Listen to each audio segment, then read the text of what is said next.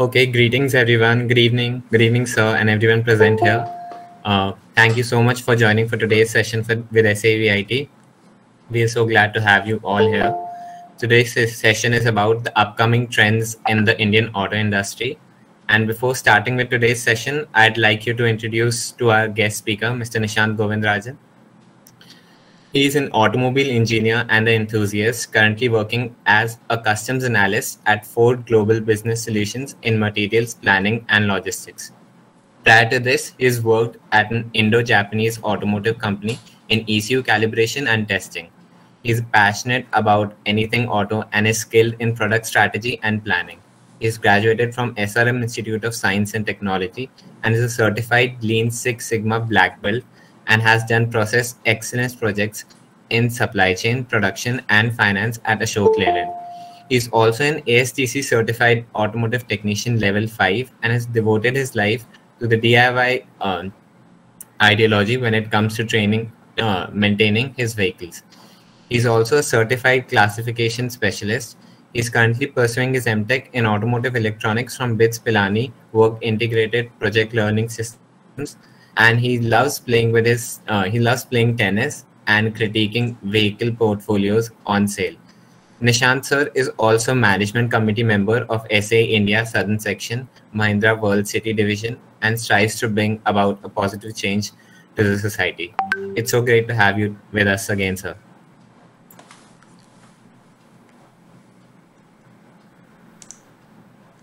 Yeah, thanks a lot, Charavul. It's really nice that uh, you all have invited me. It's really an honor to, uh, you know, be invited for the second time and interact with you all again. And uh, just wanted to say SAE VIT is doing really great in terms of uh, reach to the students and you're delivering the correct content, correct automotive content. Nice to see that all of you are uh, automotive enthusiasts as well. Thank you. Thank you so much, sir. It's always great to have you with us, sir. Thank you. So uh, we can start the session when uh, when everyone's ready. Yeah, absolutely, sir. I think everyone's ready. We can start. I'll okay. just start the recording. Sure. So I'll share my screen. We're ready to go, sir.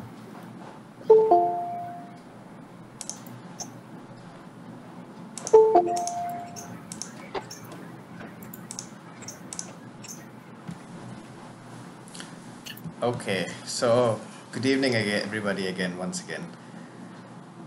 So it's really an honor for me to, you know, be connected with you virtually to share my views on what the Indian auto industry will face in the upcoming months and years and what products you can expect from the automakers in India.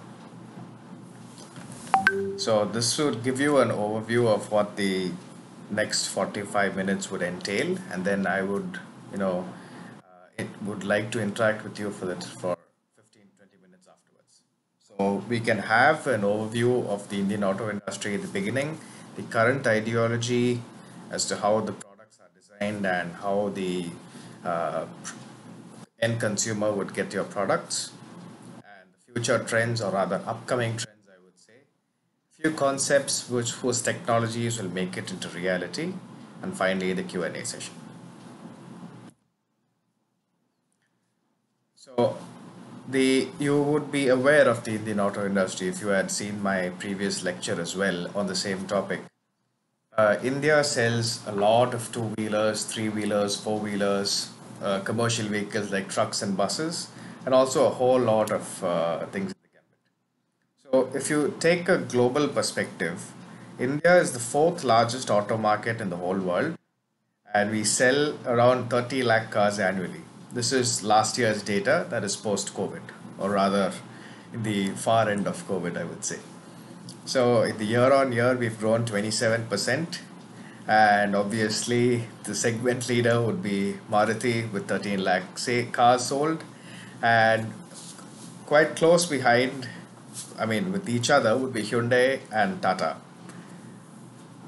So this is where we are in the global perspective. We're in the fourth place. We the previous time which we were here in the fourth place was in back in 2018. So it was a good jump, a good recovery from uh, a slew of regulation changes with emission, safety, and also the COVID, which hit a lot of sales, and we had the first month on record where zero sales were, you know, placed, which was April 2020.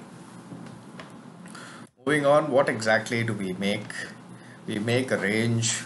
We make a bit of everything, and we make, you know, lots of most things as well.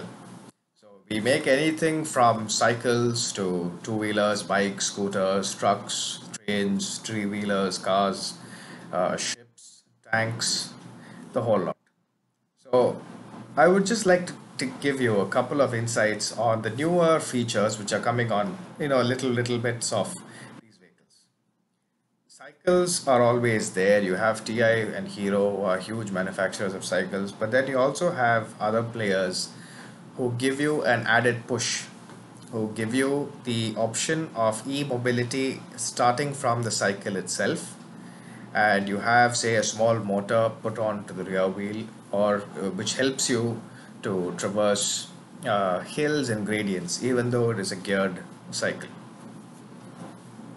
Uh, in two-wheelers all the connected you know the connected car features are coming into the two-wheelers as well with most of the launches recently focus on bluetooth connectivity turn-by-turn navigation and also anything which can you know take your mind off driving while you're driving and connect your cell phone to the to the two-wheeler which is really dangerous in certain cases. But you also have nifty things like Royal Enfield's tripper navigation. Trucks have you know uh, surpassed the level of uh, global trucks in the way wherein they emit little to nothing. They perform really well and also they can carry more loads legally as the axle load norms have increased. And then it's really very difficult to keep up with them on the highway. Like for example a couple of days back i was traveling from my office to my home on a big on the big gst and it was really difficult you know keeping up with the BharatBenz uh, 13 ton truck who was flying at 80 kmph and fully loaded. The last time i've seen a truck fly was when the semi trucks drag race so that far, uh, we've come in technological advancements with the advent of BS6 for trucks, who have great performance gains, who have uh, zero to little emissions. I would not say zero, we always have emissions.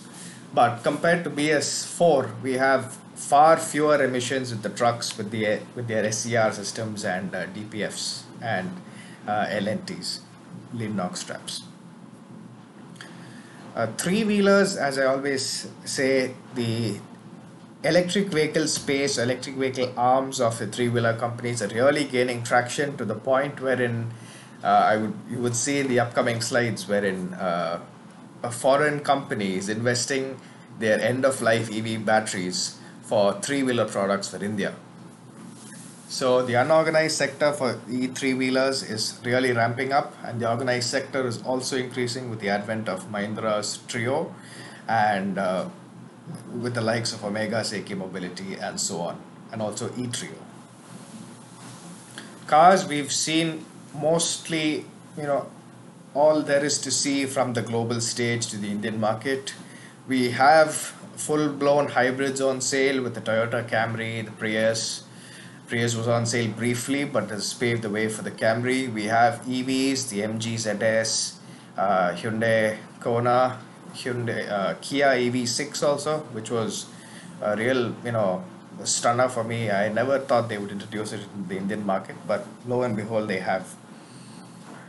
Uh, you know, more sooner than later, we'll also figure out, say, the hydrogen fuel cell and filling stations and we'll end up having the Mirai also in India for mainstream customers.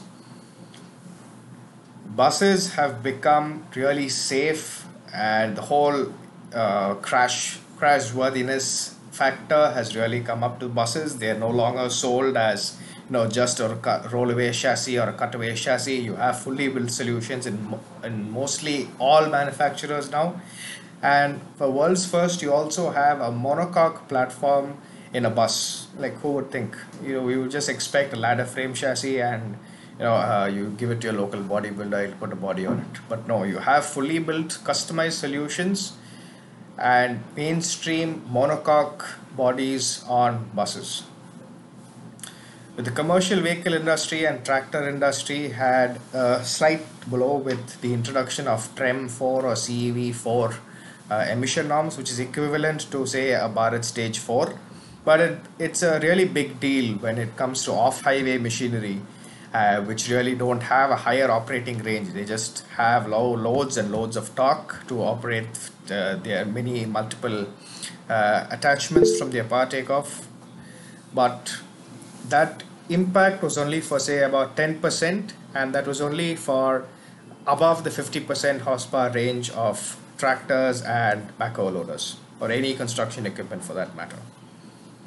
Uh, the other picture in the lower bottom of the screen next to the tractor has been in the news for all the wrong reasons. Uh, there have been so many EV fires in the country, and the sad part is when they're being transported to the dealer stockyard or the dealership Many dealerships have also caught fire, and also there are certain issues. We agree that there are issues with you know electric vehicles. You know the government has also ordered a probe into why they catch fire. Like maybe this would force manufacturers to do more uh, end of line testing and real world testing for Indian conditions. So this is on the uh, OEM side, but we do have a lot more components which we do make. The IC engine as such is not dying. We have people figuring out ways to put different fuel into the uh, engine, like your engine. For example, uh, Porsche and the Volkswagen Group have come close to developing a synthetic fuel, which uh, can be put into their uh, GDI engines, which will give you close of the performance, close to the performance of the previous generation or you could say uh, E10 blended petrols or close to diesels as well. So the IC engine is not dead because you have the big logistics industry which depends on IC and uh, not 90 percentage of electrification or fully blown 100% EVs can cater to the needs of the trucking industry anywhere in the world coming to the axle front you do have you know regular IC engine axles but you also have e axles more often than not being developed by homegrown manufacturers uh, for example Dana Spicer and a couple of more tier 2 the tier 1 manufacturers. Obviously this the right third image has been the you know topic of debate for a couple of years now. The semiconductor chip shortage is really reduced production volumes and not only that it has hit the words of many OEMs because they promise to give you say a 10 inch screen and active cruise control and all bells and whistles. But the at the end of the day you get a car maybe three four years past when they promised that they'll deliver it to you and you won't even find a music system in it. And you'll have to get it all by yourself even though paying an arm and a leg for it. So traction motors that was made by AVL for the entire drive unit for the front or the rear axle depending upon the, the configuration. Brakes, there's a really interesting story on brakes in the concept slide which is coming up. The good thing about batteries is that homegrown manufacturers like Amaron and Exide have tied up with global giants to manufacture lithium ion cells in India or assemble lithium ion you know modules in India, which would really you know give us a sort of individuality and uh, you know less of lesser dependence on the Red Dragon. Obviously, you've seen ultra low rolling resistance tires for EVs, and you've also seen smart tires which have the TPMS on their own and also detect the tread and the pressures and temperatures and you know really give you an idea of how you're driving and based on the pattern of your driving how you can drive better for better fuel efficiency and tire life right so if you had seen my lecture a couple of years back or even last year i would have said that the future would be bs6 we've already come to bs6 and we've had so many vehicles running on bs6 be it petrol diesel cng you know lpg everything is BS6 now. Now the worry is BS6 stage 2. So what is BS6 stage 2? You have a lot of monitoring which takes place for reliability and longevity. You have CATCON monitoring, you have uh, OBDs, onboard diagnostic systems, which are supposed to be mandatory even for bikes. And by the way, the two wheeler industry in India has the most advanced emission, most stringent emission norms in the whole world. Not even Japan or Europe has the level of uh, strict emissions we do and that's mostly down to the sheer number of two wheelers we produce and sell you know each year. So another thing which can affect the way the, the people design your products. Say you would want say a v6 for your mercedes but then you'll end up having a four cylinder because you don't meet your corporate average fuel economy target for the fuel efficiency as well as carbon carbon dioxide emissions. So the CAFE 2 norms play a really important role because it doesn't depend upon a, a sample of a car or a model which you sell. It depends upon the number of cars you sell. So just to take an example, Maruti, if they sell 13 lakh cars a year, all the 13 lakh cars put together, the average of their fuel efficiency should be under uh, should be over a particular limit and their CO2 emissions should be under a particular limit. So it depends really on the outliers, which is the people who sell the least cars and the people who sell the most cars. So these two manufacturers have to really, you know, rack their brains together and figure out a way to meet these targets. One way would be mild hybrids or micro or uh, medium hybrids, which would just be a starter generator, which would help out in giving you assistance like the SHVS system of Maruti's or a full-blown hybrid like the upcoming Hyryder or uh, the upcoming Fortuner Innovas, which is posted to be launched in 2025 or so. So that one thing which reports say is a diesel hybrid configuration which would help them to gain their corporate average fuel, fuel efficiency and CO2 targets. But then the final, what I don't want to say nail in the coffin because I would like to say uh, I would like to keep driving IC engines and you know make them last for a longer longer period. But the final coup de grace would be the real driving emission tests the real driving emissions really depend upon whether your vehicle performs as it should under the limits of hydrocarbons, carbon dioxide, uh, nitrogen oxide emissions at all levels of uh, you know driving. Like when you're in a test cycle, say the WLTP test cycle, harmonized test cycle procedure, you would have curves, you would have um, waves which indicate a high gradient wherein your engine would be at four and a half, five thousand RPM. You would have uh, deceleration, accelerations. You would have wide open throttle. You would have so many cases wherein it is forced to give out more NOx or the engine operating uh, temperatures would be so high that NOx production would be maximum. And the engine is you know forced to give out the max torque and max power so at those places it's easier or rather it is relatively easier to cheat. Like there have been many instances where manufacturers have been found guilty of tweaking their uh, ECMs or engine control modules to behave properly in their uh, WLTP test cycle procedure when they are tested by government agencies but in the real world it's not the case you have had so many you know issues from say uh, Daimler, BMW, Audi, Volkswagen, and even Maruti in certain cases because Suzuki in certain cases because of the Fiat engines. So how do we beat this? There is one way. The car is supposed to be sold in a particular market. Let's say India. India has extreme temperature high temperatures in certain areas, low temperature in certain areas. It has altitude. It has uh, places that are on sea level. It has places where there is lots of rain. It has places where it's very parched. There's absolutely no water. You have hills. You have plains. You have you have a combination of the two as well. You even have snow in most places. So what can you do? You can attach a portable emission testing device to the back of the car. As the car drives along, the exhaust gases filter into this sort of contraption which is kept on the back of the car and the gases gas canisters in the you know rear seats or rear side of the car. And that monitors your emissions as you drive along.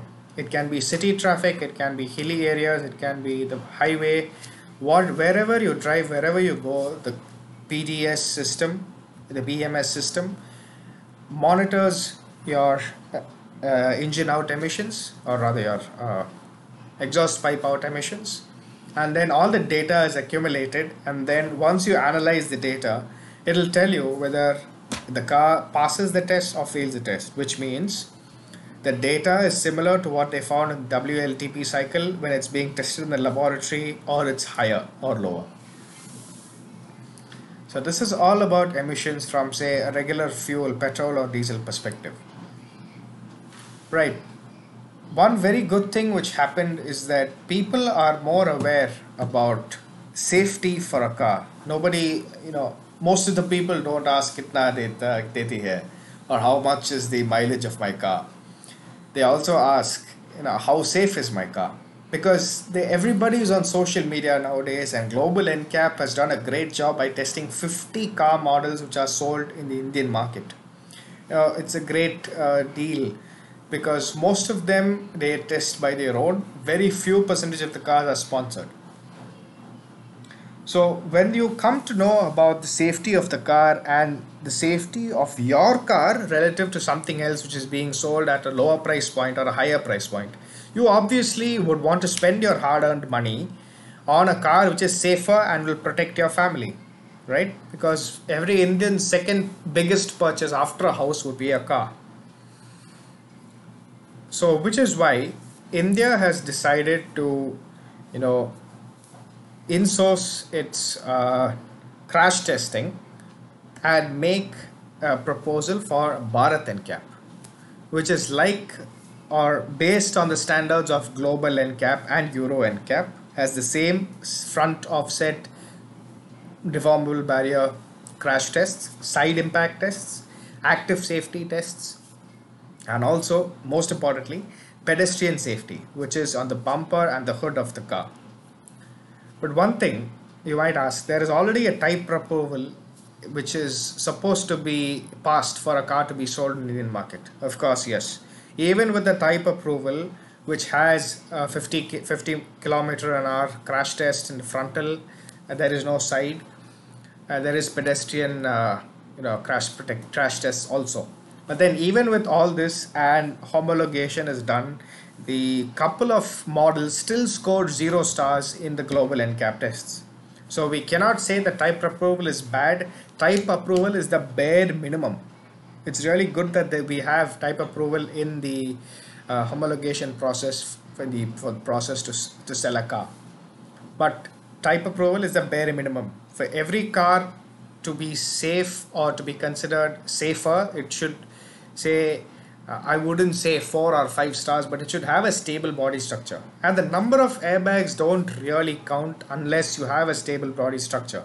You can have, for example, 12 airbags or the entire cabin structure encompassed in airbags, but still you would have a bad safety rating or the passengers will have grave injuries if your structure is body structure, A pillar, B pillar, front quarter panels, front, front bumper is not strong which was the result of the Kia Carens, which was tested a couple of days back by Global NCAP. It was the only six airbag car on sale from the base variant, and it scored dismally bad.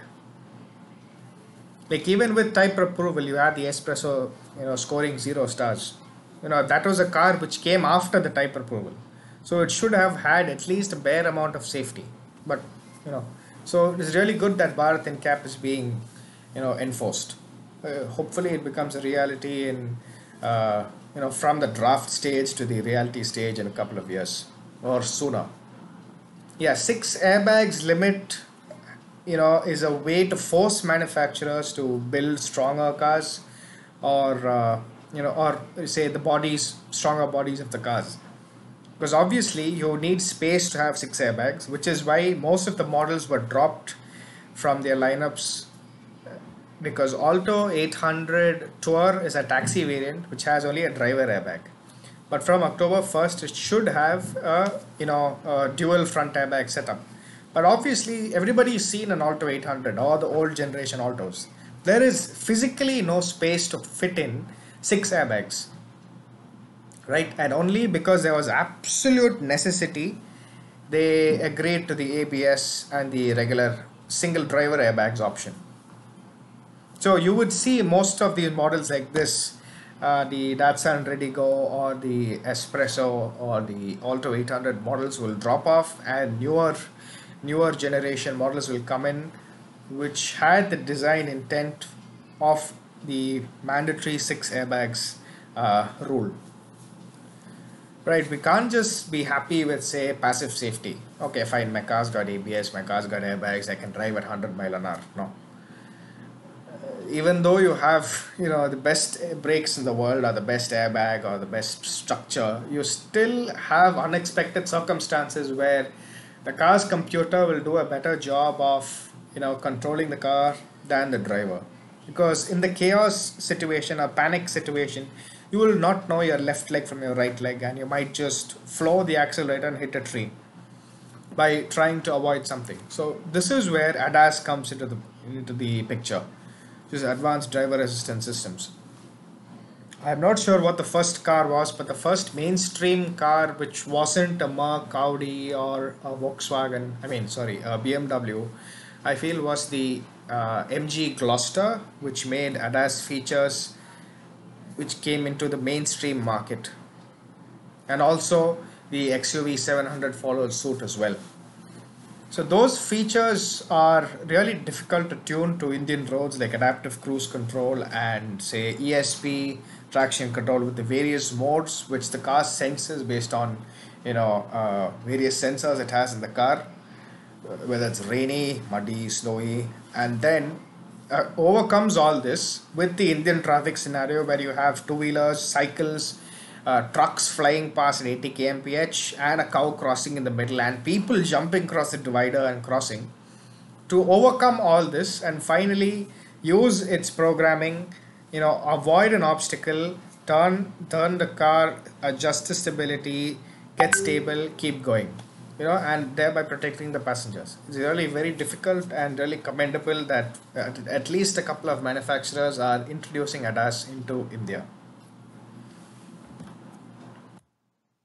this slide you would have seen uh, almost everywhere now. It was the future a couple of years ago. It is the present. It is there in every single car. At least some level of these technologies is there in every single car. Connected obviously. Connect uh, you know you have vehicle to home or vehicle to vehicle is the only thing which is not there now. You still have vehicle to home. You have vehicle to uh, you have your concierge services which is there on the um, Hyundai's, the Kias with the SOS buttons and stuff. You also have it with few Mahindras and uh, few MGs as well. Autonomous driving, you have adaptive cruise control is the far farthest we've got from it, and also the lane, the lane watch, the lane keeping, and the lane departure of the 700, and also most of the ADAS features of the Gloster but that's where the buck stops. We've not actually come into full self-driving like you know a tesla or you know some other autonomous waymo taxi or the uh, other taxis in china which have been authorized and mandated uh, to be used on public roads. Shared of course has taken a big hit thanks to covid. But then there are people like electric vehicle uh, minivan makers called Canoo who've design their products on this idea of a shared mobility concept and also the electric mobility concept. Now, obviously, uh, Tesla is no longer the only thing you associate with electric vehicles because almost every manufacturer, maybe it's not a you know true blue electric product, but some rendition of their prior products is an electric vehicle Like you have Hyundai's Kona, you have a Hyundai Kona ICE also. EV version is the Hyundai Kona EV, MG ZS EV, Tata Nexon EV, and also Kia's EV6. Apart from that, you have companies who just make electric cars like uh, Rivian, uh, also Lucid, Lucid Air. Uh, you also have the mainstream manufacturers like Mercedes who've you know got their EQA, EQB, EQS, and also a nice concept which is coming in the couple, next couple of slides, which has achieved a remarkable feat with the almost similar 90 percentage tech of uh, the production model. But then some sort of electrification is there in all models. Like electrification need not be only fully electric, it can be hybrid. Like most of the products are becoming hybrid nowadays. A press release today by Maruti Suzuki said they're going to focus on hybrid models rather than going fully electric. And their first hybrid, fully blown hybrid product, which will be uh, which is going to be rolled out, is the one in partnership with Toyota, which is the Hyryder or the new Vitara, which which should be unveiled in a couple of days on the first of July.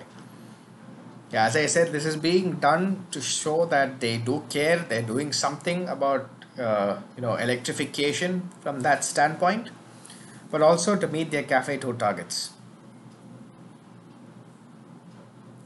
You also have huge trucks who are trying to go the electric route. You have obviously the Cybertruck from Tesla, a few Nikola models, uh, and there are also few companies who invest and uh, do R&D on huge battery packs like CATL who wants to you know uh, develop battery packs for long range commercial vehicles.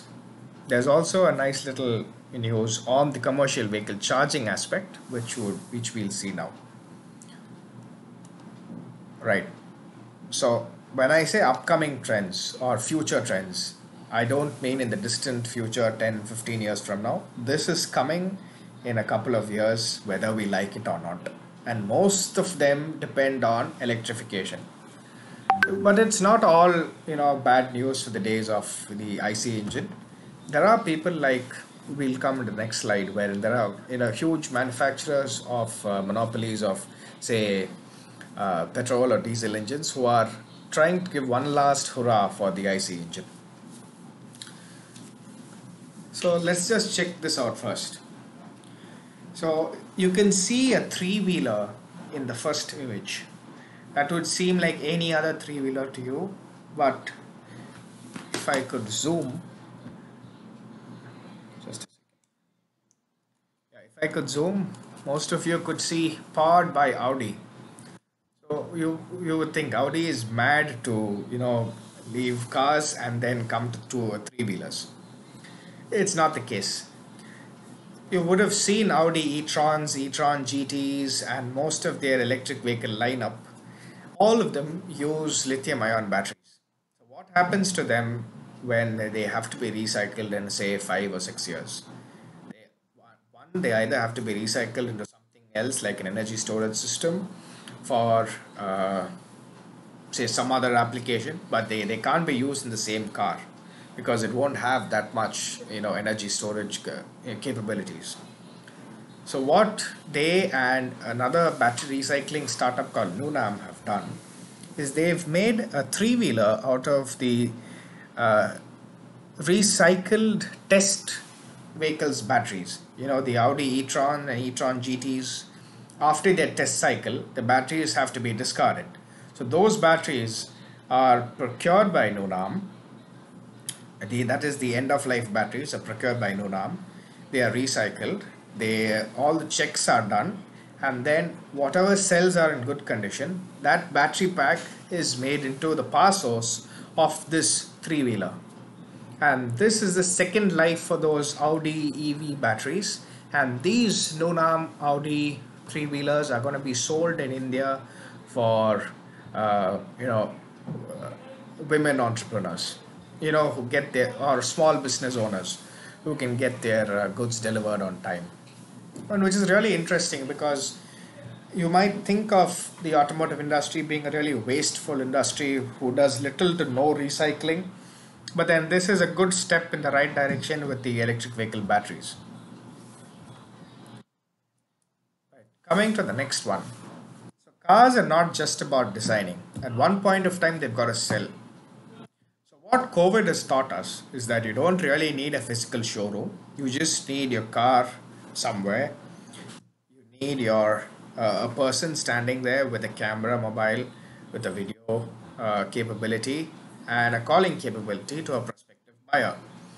So you can either ask the buyer to call the person sales executive and he or she can show around the car or you invest in a VR uh, setup wherein you can see every single variant of the car every single accessory you can put on it every single powertrain option drivetrain option and also how it's sold in different countries.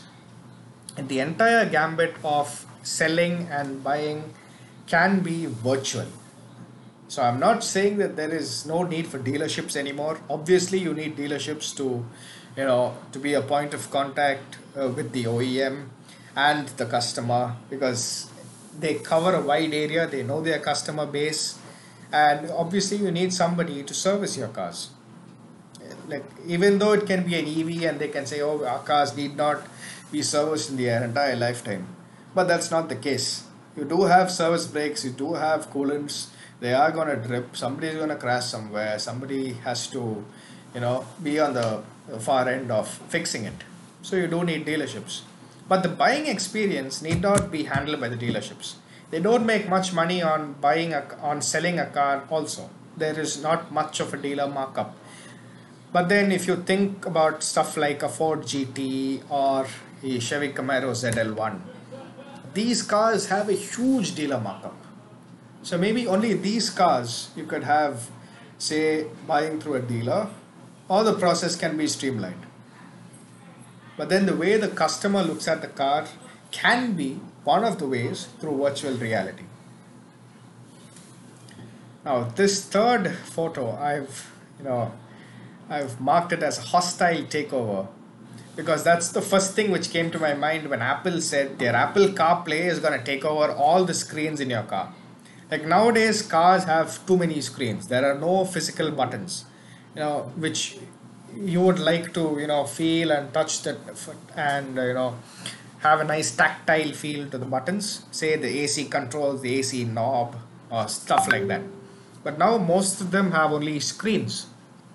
So you have one screen for your infotainment one screen for as a virtual cockpit.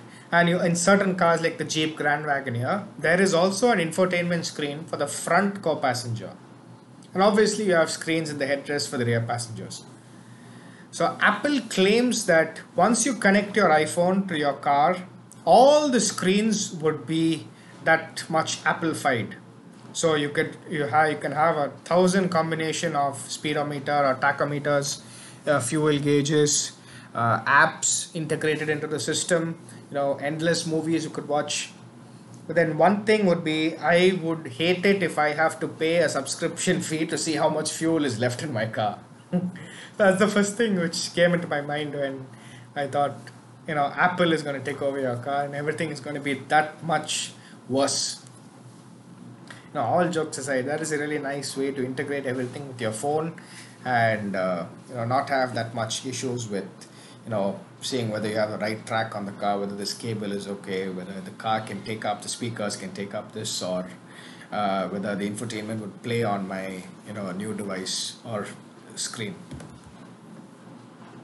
Coming to the next one, as I said, there are commercial vehicles which have huge batteries, and it's really very difficult to uh, for them to charge. It'll take hours and hours on end. I mean, even if you have a truck with the Department of Transport authorized uh, 15 minute or 20 minute checkpoints for say 100 points checkpoints on your truck, if you have to check that, that'll take you the maximum or the best part of half an hour but huge batteries take so long to charge even though you're at a fast charging station so let's say uh, it takes you an hour but then what these people uh, what the people at uh, uh, Charin Global have decided is that they're gonna go one step further and roll out megawatt charging, not kilowatt, megawatt charging for EVs. So huge amounts of power being put into the batteries to charge immediately. And this would really help the commercial vehicle sector because they have huge batteries on their trucks, even though they have regenerative braking to uh, and huge mass and that momentum can really charge up the batteries with regenerative braking. But still when you're run out of say hills to go down you will ultimately find you know plains and flat surfaces wherein you would need juice from the battery pack to keep going so those places when you eventually find the charging station the, the folks over at charin systems have introduced megawatt charging systems to dominate the electric heavy duty trucks and buses. They and it's not just limited to say trucks or buses. You can also do it for you know electric ships or electric planes like for example what rolls-royce is doing.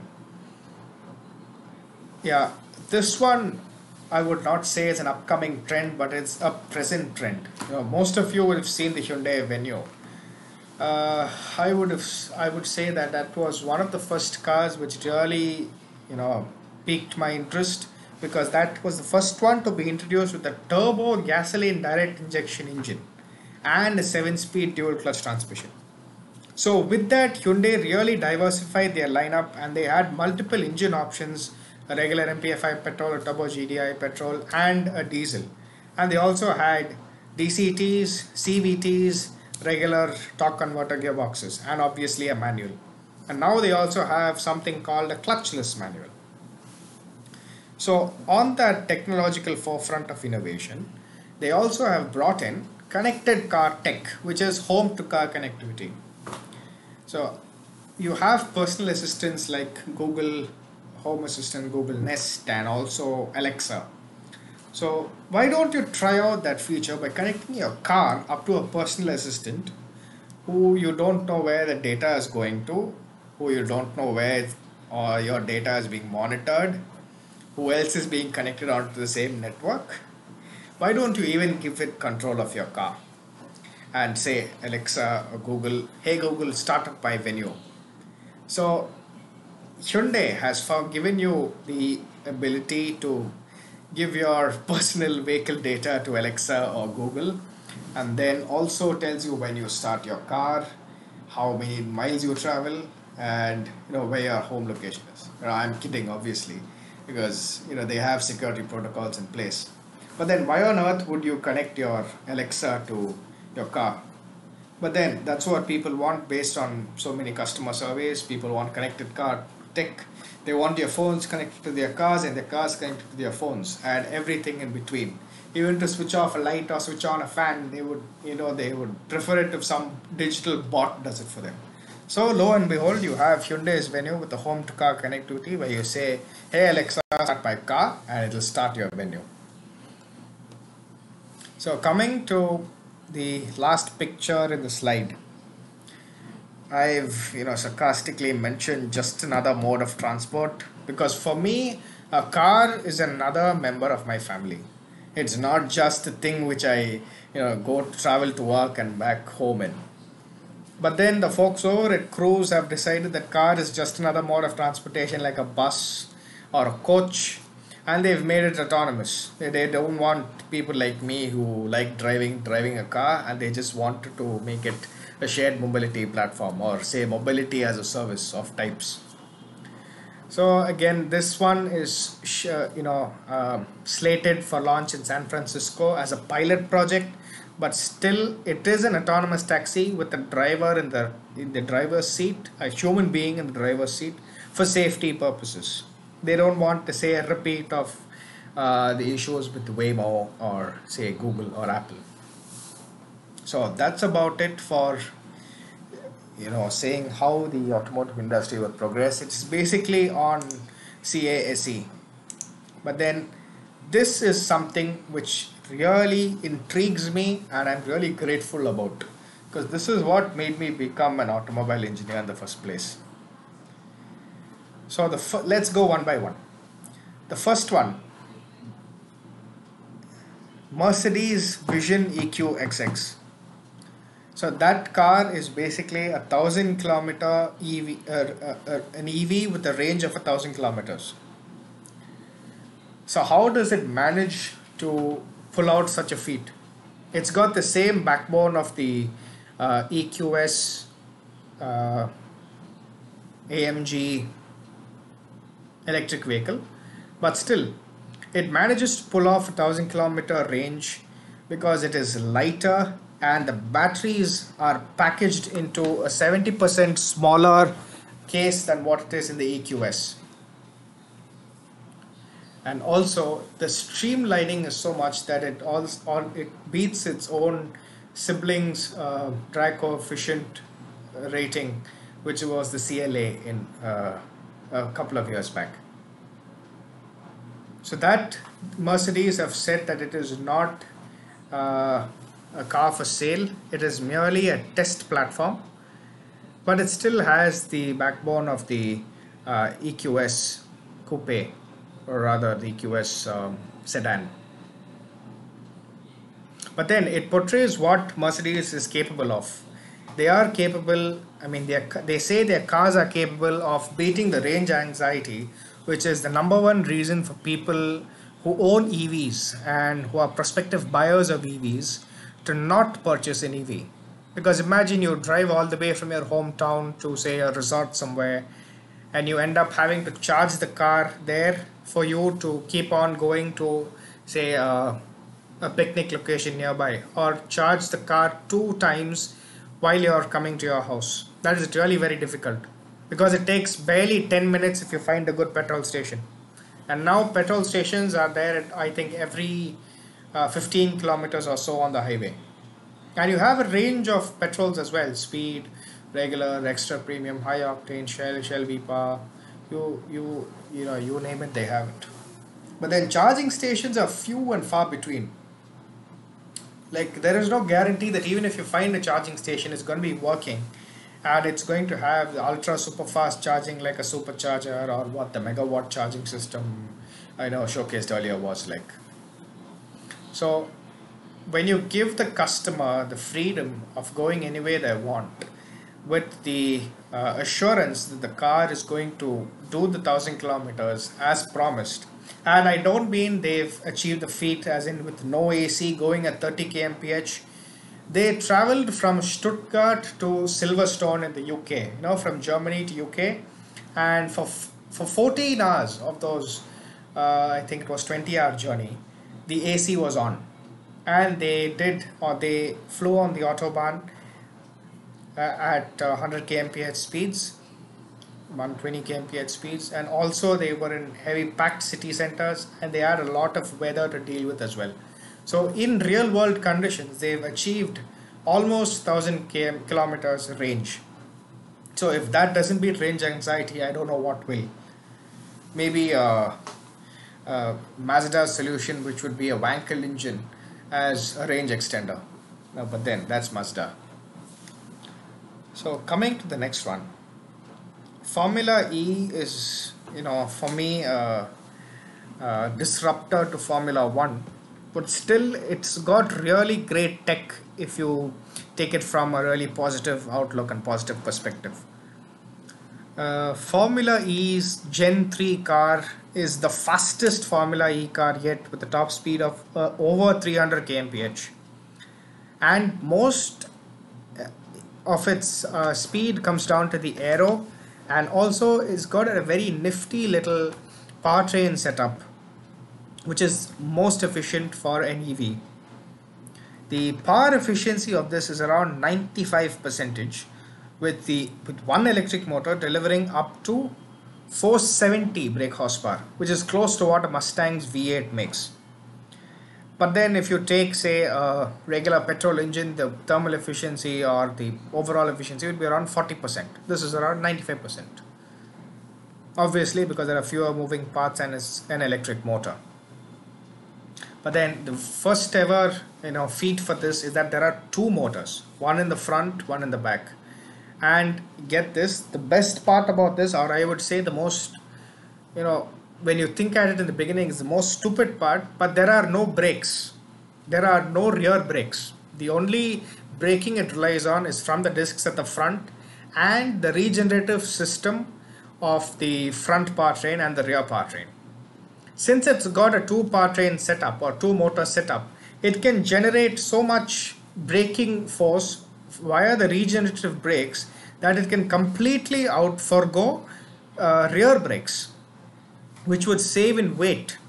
But I don't think when it comes to reality, the regulations will allow. So you might have, say, uh, this is by the Formula E, but you do have players like Jaguar, Mahindra, uh, Nio, who will obviously take take stuff from their Formula E cars into their road going cars. So they might have they might still have brakes, obviously. And also this features ultra high speed charging capabilities of around 600 kilowatts. Now that's just a bit of uh, you know information to pacify me saying that is almost as good as Formula One, which I don't want to, but it is almost as good as Formula One, if not closer to Formula Formula One on the you know tech front.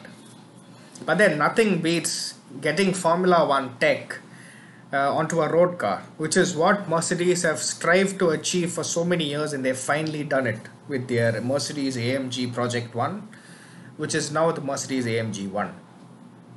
So this is one of the most outrageous cars I've ever seen because it's got the same engine setup or the same powertrain setup from the Mercedes uh, seven title winning Formula One car, uh, which is a 1.6 liter V6, if I'm not wrong, or a 1.4 liter. I'm not very sure. And it's got four electric four electric motors, one on each wheel and it's an all-wheel drive setup so but all these things result in around say upwards of 1000 horsepower and 217 mile an hour top speed which is say around 350 375 uh, kmph so that is good stuff from Merc and it all it has all the fancy brake vectoring torque vectoring uh, active aero above the uh, uh, tires which help in aerodynamics and the airflow with uh, they prevent porpoising obviously which is a real which is a real headache for most of the teams in formula 1 now and uh, it's close to what you would get to a formula 1 car. And obviously everything is sold out and if it was sold out long before they had finished testing. But then that's the closest thing you would get to a formula 1 car. And obviously it is the poster it's become the poster uh, which you will find on every boy or girl's bedroom for you know years to come. You might have a chiron but this nothing beats you know formula 1 tech uh, most of you might know the goodwood festival of speed where a lot of manufacturers bring in their one-offs or uh, you know pre-production vehicles to set up a hill climb challenge record. So one among them is Ford and they've brought their Supervan 4. So you might think what exactly is a Supervan? So the very first super van was basically a Ford Transit which is a Ford Courier mail van with which was placed on the chassis of a Ford GT40. So this monstrosity has become the uh, brainchild of uh, future supervans and this latest rendition is a 2000 horsepower uh, you know EV which is poised to set the uh, record at Goodwood Festival of Speed. You know we we'll know when uh, the results are out. But this is basically the latest advancement of Ford Pros which is Ford productivity is uh, their commercial arms uh, e-transit which is going to be the face of all the electric vans sold in Europe around 14 models. And it is a Ford e-transit which is the model E division's transit electric transit van combined with Ford performance's way of saying we have an all-wheel drive 2000 horsepower EV which is fun and which is you know versatile to whatever application coming to what powers these things, the drivetrain and the powertrain. you will all know that you know magnets, rare earth elements like neodymium magnets are required for the functioning of a motor, say a BLDC or PMSM or induction motor. But what the folks of Mahle have done, have they've developed a you know an EV motor which does not rely on magnets or rare earth elements. And they've managed to crank out 96% motor efficiency from this motor. So you might ask without magnets what do they actually use? So they say that the traction motor does not require any magnets because it generates the necessary magnetic field by means of an excitation coil. So that coil gives them the necessary magnetic field and that helps in the motor rotation. And not just that it, it just doesn't say okay it works. It's become you know 95% efficient which is one of the best motors out there so when this comes into production it'll be sustainable and it'll be a revolutionary product coming to the last topic for discussion you know the people at cummins have really uh, you know have gotten my respect because they've introduced a 15 liter hydrogen engine at their ACT Expo in uh, Los Angeles, America.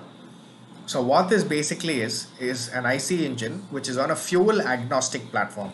So what does that mean? Fuel agnostic. You can put whatever you want: natural gas, LPG, uh, hydrogen, diesel, and the cylinder block would remain the same but the cylinder head, the valves, the uh, intake, exhaust manifolds would change for hydrogen, bi- biogas, natural gas applications. So this just goes to prove that the engine is not the problem for combating greenhouse gas emissions. It is the fuel. So yeah, we might run out of petrol or diesel, but we have a lot of people working on internal combustion engines, but with sustainable fuels like Cummins, who've introduced a 15 liter and a 6.7 liter uh, hydrogen fueled engine at a recent expo. So they feel that this engine, which would give out say 800 or say a thousand uh, newton meters of torque and around 300 to 350 horsepower, is you know commercially viable, which is why they've given a target of set a target of 2027 for mass production of their hydrogen engines. So this is about it which I wanted to share with you all. There's a few things which I got data on recently and was you know really interested by them. Hope you are interested by them too. And if you have any questions, please do let me know. I am always available on LinkedIn. I'm active on LinkedIn. Please connect. Feel free to connect with me have, and if you require any sort of career advice, please let me know. Thanks, thanks everybody for your time. Thanks, Sharvil, for the invitation. Thank you, thank you, thank you so much, sir. It was it was really a, a eye-opening and a very informative session for all of us. Uh, there are a few questions in the chat box as I can see, and we all do have quite a bit of questions that we can see. If you have any questions, you can unmute your mics and speak up, or you can put your questions in the chat box. Um, sir, I have a question. Yes, Um, please. we have seen Maruti. We have seen Maruti bet big on petrol CNG versions with the recent launch of the Brezza and Ertiga and the. Right, yes, yes. Will, make up, uh, will they ever uh, ever be able to make up for the loss in the market share with the going away of the 1.3 Fiat Source and the 1.5 diesel? Like the per kilometer cost is almost the same, but uh, will they ever be able to get back the market share? Like if you check the market share when the MJDs were there, it was around 55 to 57 percent. Now they've come up to 50 percent. They've not. They're not saying that we're going away, doing away with diesel technology. They're just saying that diesel technology is difficult for, um, for you know, to be profitable for Maruti. I mean, it be we all love you know MJDs and cars. The MJDs really uh, helped Maruti get their market share, but then now they Yes. focused on you know 1.5 petrols and their dual jet motors and their global lineup. You've seen the Baleno RS with the booster jet. that Booster had all-wheel yes. yeah that had all-wheel disc brakes and a booster jet engine, which was only available in Europe at the time. So that came to India Yeah. as you know a homologated version, and like the booster jet, GDI dual dual injectors per cylinder is becoming the norm for uh, Marutis as of late. So you would get the same power, you would get obviously you will not get say a 250 Nm torque, but you would get close to the acceleration of uh, the MJDs. And also they've introduced Suzuki Super Carry, which is a commercial pickup. Um, Yes, sir. Pickup, Pickup can't say, but um, say a half ton, half ton van. truck. Yeah, half ton truck. So that success was so huge that they are diversifying into so many uh, states of India, and they're also planning to introduce CNG versions of that too. Like it's good that you brought up CNG because that is uh, coming close to uh, what do you say? Close to the efficiency of the diesels, and people accept that is the biggest you know plus point. People accept that the CNG versions are good because most of their uh, sources are from the uh, metropolitan cities like Delhi, wherein CNG was a big thing even when the BS3 and BS4 was there, thanks to the pollution. So people accept there are success stories and they accept that CNG is a viable alternative. So I feel Okay, sir. just because people have got uh, used to their tech features, that they will be overshadowed by what actually passed the car. What actually passed the car would be some sort of a petrol engine from Suzuki's global lineup. Obviously, we're not going to get their diesels anymore. It was a dismal failure when Maruti made their two-cylinder Celerios by themselves and made two Celerio engines together and made a 1.5 for the Ciaz and Ertiga for a couple of months till the BS6 kicked in.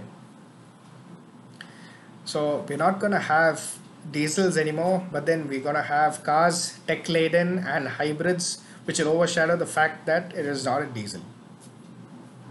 Yeah, but we'll definitely miss the torque of the DDIS 225 and the 240. Yes, correct. Sure. Yeah, that's really sad. So we'll just have to stick to what Toyota gives to Maruti, albeit if it's a diesel. Thank you, sir. Yeah.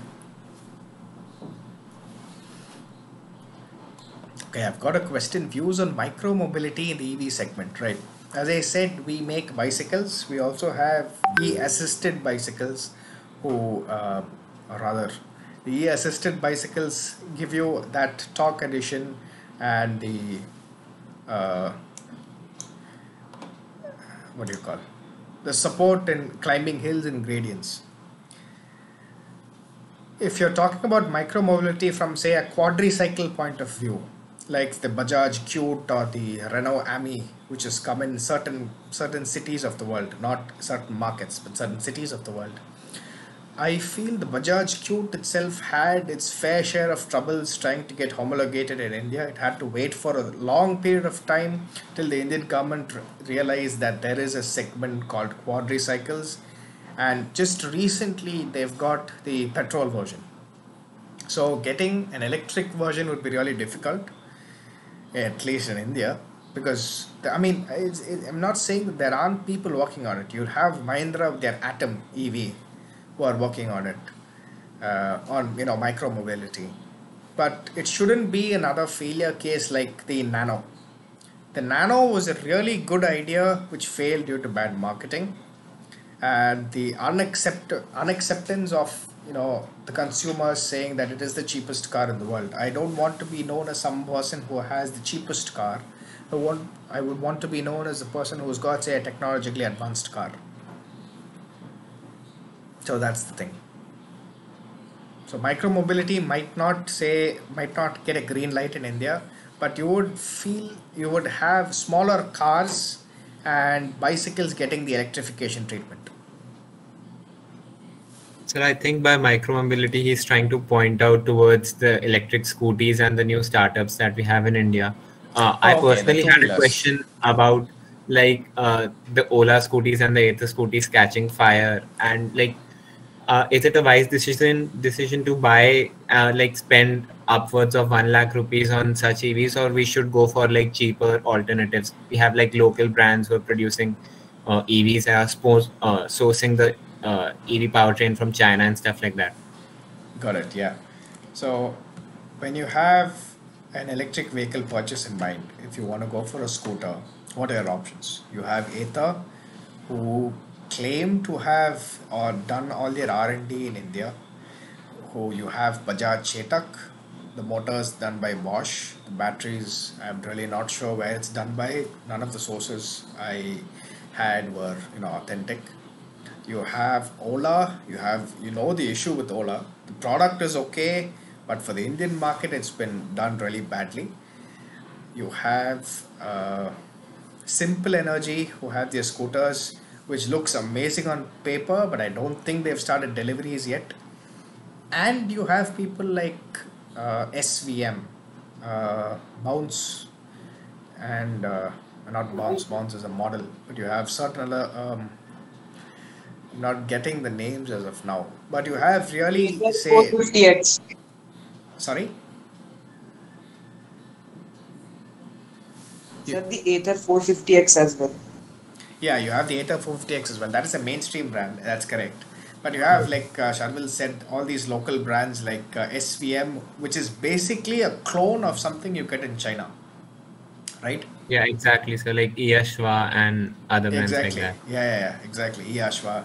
Okinawa also, I am not very sure because Yeah. they claim to have a huge manufacturing setup. They've invested so much in the manufacturing setup as well.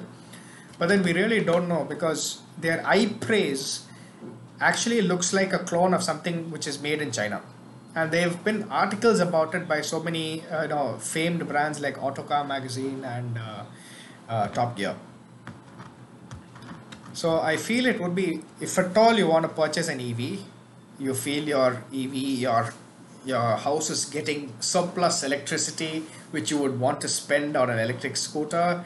Keep worrying about the range wherever you go, and uh, you know if you have first of all if you have upwards of one lakh to uh, buy on EV, or if you want to finance it through a financier, see whether they are okay with buying uh, an electric two wheeler. I mean, you can go for it, but then you would have the issues with charging, range anxiety. You would we would not know where when it will blow up. That is the fact because you have so many It's like batteries. buying a time bomb. We're just waiting for Exactly. it. Exactly, yeah. As you know, very well put. Because thermal runaway is a really bad thing. It's a really scary thing also. Uh, Recently, a Tesla Model S Plaid caught on fire, and it took around forty thousand liters of water from the San Francisco Fire Department to put it out. And lastly, even after doing this, it, it didn't the fire wasn't doused. So they dug a pit, filled it with water, pushed the car into the pit of water. And that's when the thermal runaway stopped and the fire you know subsided. So the electric vehicle market is still in the infancy stage. You will have issues like this. You will have issues like your display is getting cracked, your uh, car, your the worst part was the Ola going in the reverse direction at 80 kmph. And also, you will not know when the fires will happen. Of course, you cannot say that similar issues will not happen in, say, an Activa or a Shine. But obviously, your battery is not going to blow up in your Activa. Your fuel tank might if you have a bad accident. But if you drive safely and you know you obey the rules of the road, I feel it's still safer to buy a, an IC engine rather than an EV at this point of time. And people don't mind financing an EV, I mean, a IC engine, even if it is 70, 75k. A Honda Dio, which I bought in, which my mom bought for me in 2013, was around 45 grand.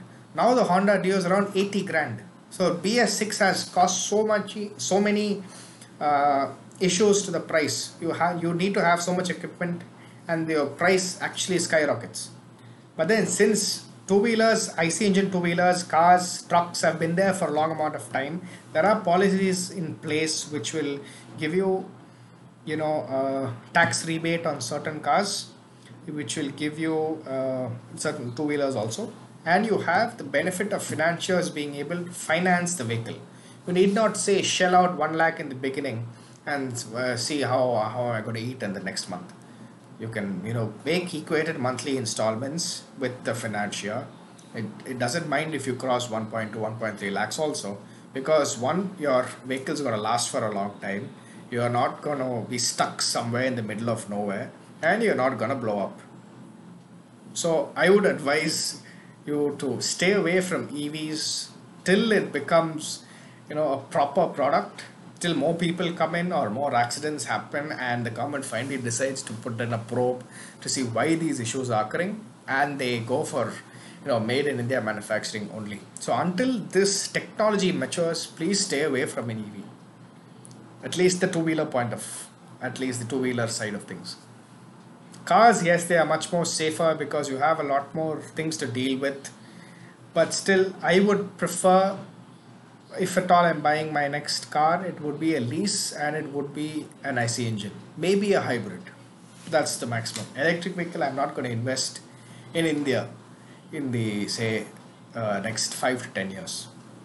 But then if somebody comes up with a bang bang good product like uh, you know with uh, range equal to a petrol and ra- charging time equal to say filling a fuel tank then and the price obviously the price on par with the petrol with no issues of batteries getting exploded then we might think differently but now ices are a safer option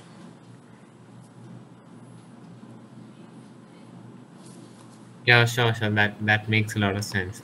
Uh, apart from you know uh, charging the batteries more like efficiently, uh, the faster we charge them, the more they deteriorate, and the faster they deteriorate. So Exactly. that's one Correct. issue that we'll have to cover up before. Correct. So suppose you're Yeah, there are going, you keep doing long distances, uh, you would need fast charging. You can't be stuck. Say you have a 12-hour journey ahead of you. You can't be stuck for another 12 hours just charging your battery. So at that point of time, you would have to find a fast charger with 30-minute charging, and that will obviously deteriorate your battery, but it'll get you to your destination half an hour late, but still within that 12-hour gap. So that is another issue. hmm That doesn't And happen in a fuel tank. You, your fuel tank doesn't deteriorate every time you fill in fuel. Maybe after 15, 20 years of owning the car, but not, say, the second day of ownership. Exactly, and you can actually uh, recycle the product. Uh, once you buy an EV, the batteries are like the essential part of the chassis. If you discard the, if you got your batteries go wrong, then you have to discard the whole product. Exactly.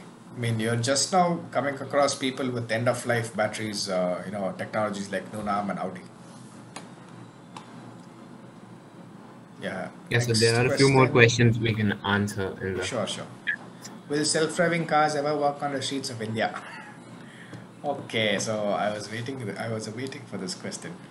Uh, full self-driving cars, it's a real long shot.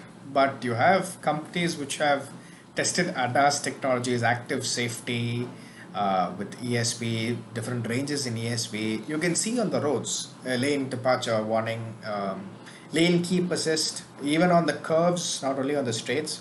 The XUV 700 does that. Autonomous emergency braking, AEB, the MG Gloster does that. Most Volvos do that. Most of the systems in Mercs are disabled for India, but still they do have a radar in the front which detects, which is used for um, you know active cruise control or adaptive cruise control. That is still a feature in India, but full self-driving, uh, I would not say is a long shot, but it will come. Maybe when the infrastructure develops. When the infrastructure develops is a big question but uh, you know it's better to be prepared and do the r&d in the beginning itself rather than you know require it and not have it and then uh, have it and not require it. Which is why most of the oems have already started work on hydrogen long back. You know since the fuel is the issue. It is not the ic engine it is the fuel. So the same way please do research on self-driving cars focus yourselves in that area of say machine learning artificial intelligence a really good area to focus on especially for major projects and mini projects but then fully putting it onto a car in india will take time fsd will take time Ada- adas is easier to do easier to do relatively. It's, it's not like uh, you know putting in buying a controller from somewhere, putting doing the code and expecting the car to work. It's not like that. Relatively to FSD, it is relatively easier. What are your views on Tesla in India? Secondly, are EVs really green? Okay, so we've made petrol engine, diesel engine, IC engine cars for a long time. We've never once bothered about what the exhaust fumes are doing to the environment. But now, since we are on the verge of you know blowing up the earth because of the greenhouse gases, we say okay, it's time to go back to the drawing board and see what doesn't pollute uh, you know on the face of it. So on the face of it if you charge evs with uh, electricity from wind power or say geothermal energy biomass renewable sources of energy yes it is green. But obviously the batteries aren't you have to you have a huge chunk of the car as uh, Sharvil said 50 percentage of the car which is the battery has to be thrown out in 4 to 5 years. Even though manufacturers say warranty of 7 8 years it, it really doesn't uh, happen that way in real time. So when you have to recycle batteries it is a pain. Unless you have secondary storage systems for the end of life batteries like uh, uh, for a few applications, not only for mobility, but standalone, you know, uh, supercapacitors or stuff like that, which would help you uh, power your house in that in, in the event of a blackout, and which will help the grid get more energy as well. So in those cases, it's okay. But then, is it really green because it is uh, completely renewable, completely sustainable? I would say not so. I mean, the same argument you can say for IC engines as well. Are they really green on the face of it? No. BS6 vehicles, uh, they are environmentally friendly to the extent of they will not harm anything from the exhaust pipe. But there are, uh, you know, materials in uh, IC engines which you cannot recycle. Like for example, you can melt down an engine block and use it for something else. I mean, if it is cast iron, say for the ship of a, the hull of a ship or something like that. Or you can break down the hull of a ship and uh, use it as with that scrap you can refine and use it as an engine block for your you know cast iron car. So but then when you think of a mobility solution which is completely renewable it is not ic engine it is not electric vehicle it is not hydrogen fuel cell as well. So nobody has you know uh, come come across a completely renewable car if they have had they're either silenced by the government. No i'm kidding. Or uh, uh, it's, it's just not been found yet. So evs on the face of it are not really green even if they are uh, sourced by i mean powered by renewable energy they are better than ic engines obviously. But then where else where do we get power you know produced by uh, IC engines. I mean, power produced by renewable sources of energy. Just a few weeks back, most of the uh, trains were cut because we had a coal shortage. So even in 2022, we have coal shortages and we require coal to produce our electricity in the thermal power plants. So when this is the case and when there is an overload in the grid, so with the deficit you want a smaller portion of that deficit to be put into your cars and you know bikes and trucks to transport goods or you know transport the nation as a mobility solution. That is simply not the case. It might work for uh, countries which produce their electricity from renewable sources in europe. Definitely it, it will work. Norway's electric vehicle uh, production is huge and on in China, Tesla is accounted for 40 percentage of cars sold. I'm not saying 40 percentage of EVs, 40 percentage of all the cars sold: hydrogen, IC engine, petrol, diesel, uh, CNG, LPG, electric vehicle. 40 percentage of all cars sold were electric vehicles. And I'm not saying China makes their uh, electricity through renewable sources, but still, you there will come a point a time wherein you would have renewable sources of energy to power your electric vehicle. And by then everybody might have moved on to say fuel cells or again IC engines with hydrogen uh, as a fuel. So we haven't really found ways of you know extracting energy through 100% completely renewable means or mobility solutions which are 100% green it's a it's a long road ahead this is what i wanted to say. Okay can we consider the bajaj chetak for regular commutes? Uh, i would say there is literally a no difference between a chetak or an Ather or a simple energy an ev is an ev you know you might say that toyota is more reliable than uh, suzuki. But yeah that is minute differences. And uh, the Chetak might have better manufacturing quality than an Ather just because they have the parent giant of Bajaj who have been making bikes uh, and scooters for a long time, bikes for a long time. So that manufacturing prowess they have and the quality of fit and finish might be better. But then an EV is an EV. The range is not going to be more than 100 kilometers. And if you want to have a peaceful, you know, uh, trip, choose an IC engine, at least for now. Okay, I can't really comment on that since I work in the same company. Uh, maybe we can have a you know, discussion uh, you know offline.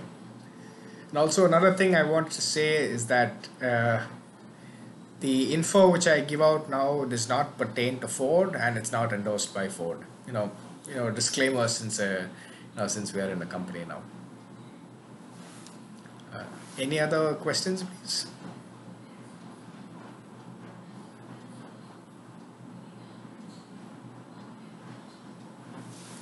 Thanks, Naveen. Thanks for attending. I mean, it, the honor is mine because you all called me for a second time, so I might have done, must have done something good the first time. so, It, it's always a great session whenever it's you, sir. oh, thank you, thank you, Sharvil. And really, it's great work done by SAE VIT because every time I see you know an Instagram post by y'all, it is some you know trivia session or a, you know a lecture session on something which is required by the automobile engineers and you know any engineer who's in the automobile field of this day and age. It's really commendable work by the SAE VIT team. Most uh, collegiate clubs have to learn from y'all. Thank you, thank you, sir. It's it's just an honor that you follow us. Just knowing that is Oh, great, thank sir. you. And it was a great time. We can short close if there are no other questions. Yeah, I think that'll be it, sir. Okay, great. Yeah, thanks, Andy. Thank you. So Thank you, really sir. great. Uh, it's a great time. Uh, you know, I had fun interacting with you all.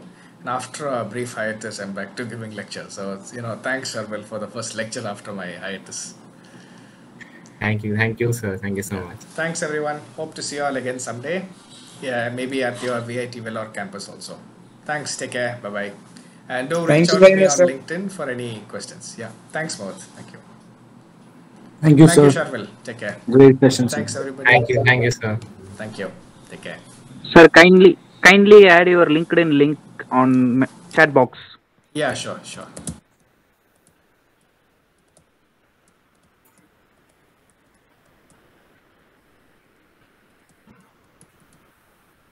If you want to revisit this session, it will be there on my YouTube channel by the end of the evening.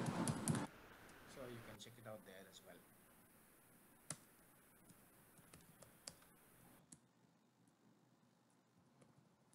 I'll put in the YouTube channel link as well.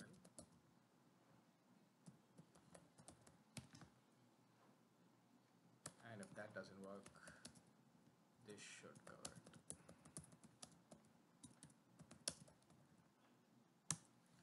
it. Okay, so that was a really great session. Uh, thanks everybody.